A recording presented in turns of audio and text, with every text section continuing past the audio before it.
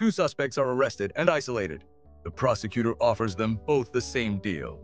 And the logic creates a devastating trap known as the prisoner's dilemma. Here are the rules. If both confess, they each get five years in prison. If neither confesses, they each get just one year on a lesser charge.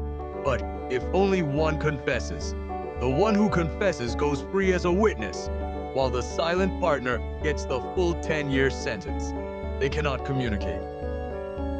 What does pure self-interested logic tell each prisoner to do, from a single prisoner's viewpoint? If my partner stays silent, I'm better off confessing. I go free instead of one year.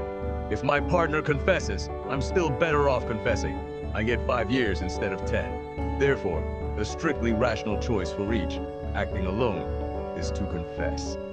The tragedy is that when they both follow this rational logic, they end up with five years each, a far worse collective outcome than if they had both stayed silent and gotten just one year each. It's the foundational model of how individual rationality can lead to a worse outcome for everyone. A puzzle at the heart of cooperation, trust, and human nature itself.